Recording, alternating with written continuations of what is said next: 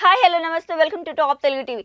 మలయాళ senior heroine Manju వారియర్కు అనుకోని కష్టం వచ్చి పడింది ఈమె పద్దెనిమిది నెలల క్రితం ఒక ప్రాంతంకు పర్యటనకు వెళ్ళింది. ఆ సమయంలో స్థానికంగా నివాసం ఉండే వారికి యాభై ఏడేళ్ళు పక్కా ఇల్లులు కట్టి ఇస్తాడంటూ హామీ ఇచ్చింది. స్లంలో ఉంటూ ఇబ్బంది పడుతున్న వారు మంచు వారియర్ ప్రకటనతో సంతోషం వ్యక్తం చేశారు. మంజు ప్రకటించి పద్దెనిమిది నెలలు దాటింది. కానీ ఇప్పటి వరకు ఆ ఇల్లుకు సంబంధించిన ఇటుకు పడింది లేదు. దాంతో ఆ ప్రాంతంకు చెందిన జనాలు మంచు వారియర్ ఇంటి ముందు ధర్నాకు దిగబోతున్నారు ఇల్లు నిర్మాణం కోసం మంచు ప్రభుత్వంతో చర్చలు జరపడం మరియు ఇతరత్ర చర్చలు కూడా అయ్యాయి. కానీ పనులు మాత్రం ఇంకా ప్రారంభం కాకపోవడంకు కారణం ఏంటి అంటూ వారు ప్రశ్నించారు. హామీ ఇచ్చి ఇప్పుడు నా వల్ల కాదంటే మంజు వారియర్ను వదలమంటూ హెచ్చరించారు.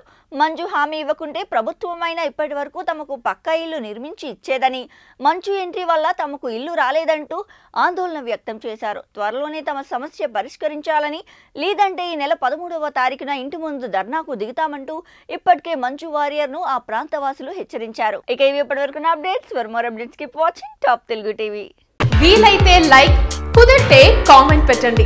ఇలాంటి ఇంట్రెస్టింగ్ బ్రేకింగ్ బిగ్ న్యూస్ మాకు తెలిసిన వెంటనే మీకు తెలియజేస్తాం. దీనికి మీరు చేయవలసిందల్లా ఇక్కడ కనిపిస్తున్న సబ్స్క్రైబ్ బటన్ని నొక్కి సబ్స్క్రైబ్ అవ్వండి.